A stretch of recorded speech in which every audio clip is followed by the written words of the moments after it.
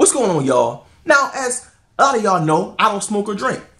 Like, you know, I've been called corny and oh, he this or that. I don't care. I don't do that. I'm not creating an addiction. I don't care what you say to me. I don't care what you call me. I don't care how I'm not cool with you. I don't fit in. I don't care. I've never been here to fit in. What I'm saying is this. Do you notice that a lot of young people are addicted to drugs? Like it's it's almost like an okay thing to do, an okay thing to see.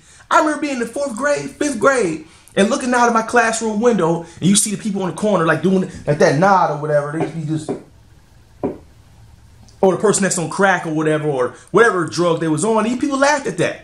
To get older, and for you to be doing the same drug that you laughed at other people for doing.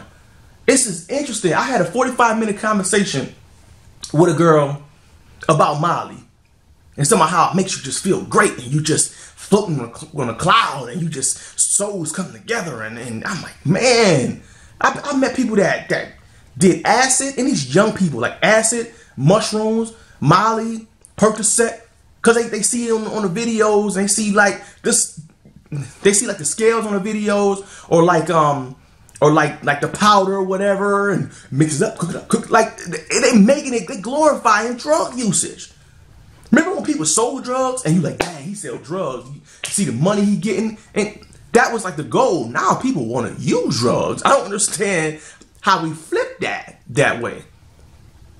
I don't understand we flip that. It's to the point where you can't even tell how old a person is no more.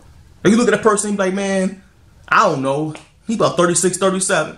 Find out he 21. I'm like, you don't know how old nobody is no more. Everybody just just aging different and getting old. That's what I'm saying. I just want to live longer. I want to be healthier.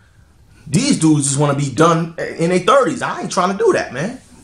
Let me know what y'all thought though, man. I mean, how many young people that you see that fell to drugs? I know tragedy happens, but how do you get to this point? To want to snort cocaine or to, to want to, you know, shoot heroin or snort heroin or whatever the case, whatever your drug is. I've ran into so many drug addicts, man. I, I don't get it. I don't get it, man. I'm I'm up out of here, man. But if you into drugs, do what you do. I'm not here to judge you. I'm just trying to understand how you got that, to that point. And you in your teenage years. I'm out, man. Before I go off up in here, I'm done. Nothing else to talk about.